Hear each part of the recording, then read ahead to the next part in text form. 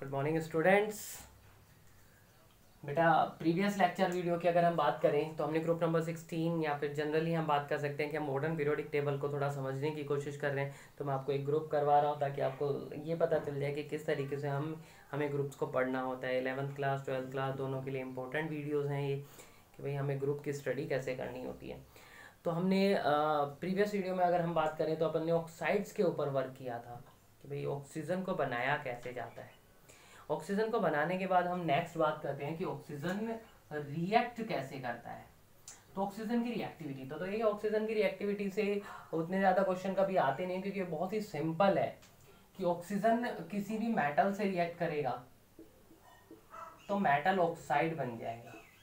और metal oxide का general formula होता है एक्स वाई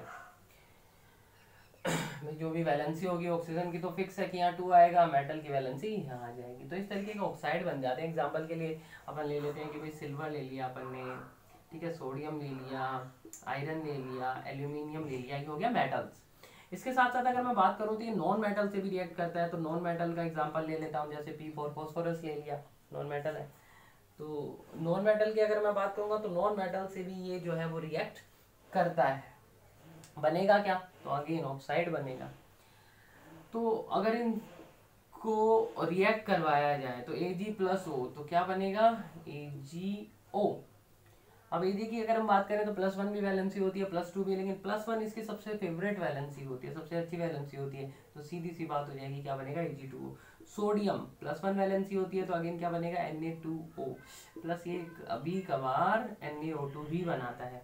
आयरन की अगर हम बात करें तो भी आपको पता है आयरन प्लस टू भी होता है प्लस थ्री भी होता है तो एफ़ भी बनता है एफ़ टू ओ थ्री भी बनता है और ये दोनों मिलकर एफ़ थ्री ओ फोर भी बना सकते हैं। तो इस तरीके से ऑक्साइड्स बनते हैं। एल्यूमिनियम की अगर मैं बात करूँ तो फिक्स है थ्री वैलेंसी होती है तो A L two O three बनेगा। फोस्फोरस की अगर मैं बात करूँ तो पी फोर ओ टेन इस तरीके के कंपाउंड ये बनाता है। पी फोर ओ फाइव भी बनते हैं। और फोस्फोरस की जब हम प्रॉपर्टीज़ पढ़ेंगे तब अपन देख लेंगे। तो इस तरीके से ऑक्साइड बनते हैं, किसी भी मेटल या नॉन मेटल से जब ऑक्सीजन रिएक्ट करेगा तो क्या करेगा? ऑक्साइड बन जाएगा सिंपली और जो उनकी वैलेंसीज होंगी वो इंटरचेंज हो जाएँगी बस।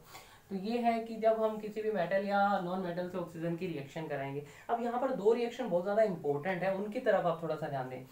सल्फ़र डाइऑक्साइड से जब हम ऑक्सीजन को रिएक्ट कराते हैं तो ये रिएक्शन जो है वो बहुत आसान नहीं होती और सल्फ़र डाइऑक्साइड ऑक्सीजन उतनी इजीली रिएक्ट कर नहीं पाते तो हम हेल्प करने के लिए वेनेडियम पेंटाऑक्साइड को बुलाते हैं V two O five vanadium pentoxide तो जब वेनेडियम पेंटाऑक्साइड की प्रेजेंस में रिएक्शन होती है तो we get SO three trioxide sulphide तो अगर मैं एसओ थ्री की बात करूँ तो अब देखिए मैंने कहा कि रिएक्शन बहुत आसान नहीं होती. तो बात ये आती है कि फिर अगर करानी ही क्यों है?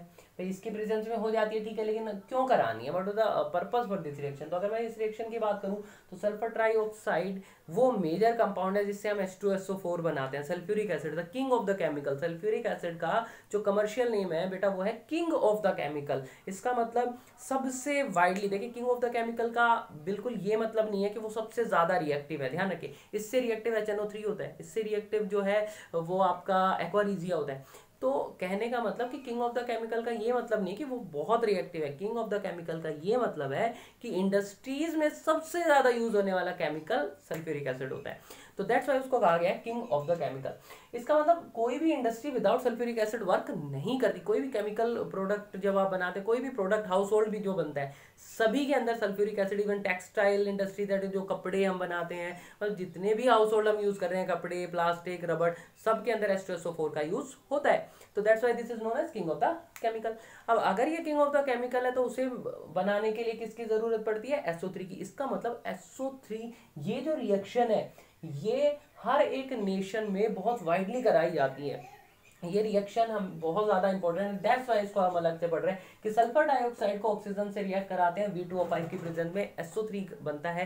ध्यान रखना है, ये रिएक्शन क्यों इंपॉर्टेंट है? क्योंकि SO3 वो मेजर कंपाउंड है जिससे आप H2SO4 बनाते हैं दैट इज़ सल्फ्यूरिक एसिड बनाते हैं। तो इसलिए बहुत ज़्यादा इंपॉर्टेंट हो जाती है रिएक्शन और इसी तरीके की एक और रिएक्शन है जो आपको ध्यान रखनी है, वो है कि क्या होता है जब HCl और O2 की रिएक्शन आपस में कराते हैं। HCl आपको पता है this is hydrochloric acid again ये रिएक्शन आसान नहीं होती क्यूप्रस क्लोराइड की प्रेजेंस में कराई जाती है सी की प्रेजेंस में कराई जाती है, और यहाँ से जो बाई प्रोडक्ट मिलता है, वो आपको मिलता है क्लोरीन गैस तो क्लोरीन को बनाने के लिए आप कह सकते हो कि this is the preparation of chlorine chlorine को बनाने के लिए भी आप इस रिएक्शन का यूज़ कर सकते हैं कि एच में क्या किया आपने? ऑटो गैस पास कराई।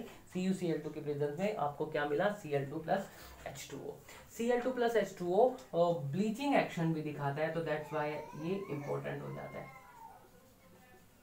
कि कहीं पर भी आपको ब्लीचिंग की अगर कोई एप्लीकेशन लेनी है तो आप इस रिएक्शन का यूज़ कर सकते हैं। अगर आपके पास, मान लीजिए ब्लीचिंग पाउडर नहीं है, आपके पास ब्लीचिंग एजेंट नहीं है कोई तो आप सीधा सीधा एच और एच के मिक्सचर को यूज़ कर सकते हैं, वो ब्लीचिंग एजेंट की तरह यूज़ करेगा। तो ये हो गई आपकी प्रॉपर्टी अब बात कर लेते हैं यूजेस किसके? O2 के। O2 के यूजेस तो अगर मैं O2 के यूजेस की बात करूँ तो तीन मेजर यूजेस आपको सिर्फ़ ध्यान रखना है। सबसे पहला एसिटाइलिन वेल्डिंग में। वेल्डिंग आपको अच्छे से पता है क्या होती है कि भैया, अगर हमें किसी भी दो मेटल्स को आपस में ज्वाइन करना है तो हमें एक बहुत लार्ज अमाउंट की एनर्जी वहाँ पर बनानी होगी ताकि वो मेल्ट होकर जब दोबारा से सॉलिड फॉर्म में आए, दोबारा से रीफ्रीज हो तो वो आपस में कनेक्ट हो जाए। तो वेल्डिंग के लिए आपको बहुत ज़्यादा एनर्जी की ज़रूरत होती है। तो सीधा अगर हम इलेक्ट्रिसिटी से वो एनर्जी लेते हैं तो इलेक्ट्रिसिटी कंजप्शन बहुत ज़्यादा होता है। तो उससे बचने के लिए हम क्या करते हैं एसिटिलीन वेल्डिंग लेते हैं कि हम इलेक्ट्रिसिटी से एसिटिलीन को बर्न करते हैं।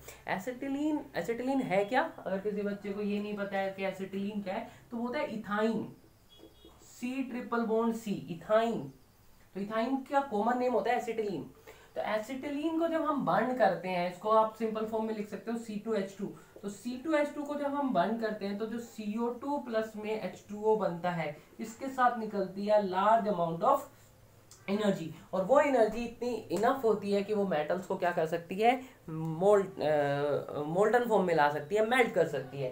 तो इसलिए हम एसिटिलीन वेल्डिंग के अंदर इसका यूज़ करते हैं। अगर मैं दूसरे यूज़ की बात करूँ तो दूसरा यूज़ आप बहुत फेमिलियर है कि O2 को आप O2 gas as a breathing gas आप उसे सिलेंडर्स में प्रोवाइड करा सकते हैं। हॉस्पिटल्स में, ठीक है? क्लाइंबर्स को माउंटेन्स पे जो जाते हैं मतलब जहाँ पर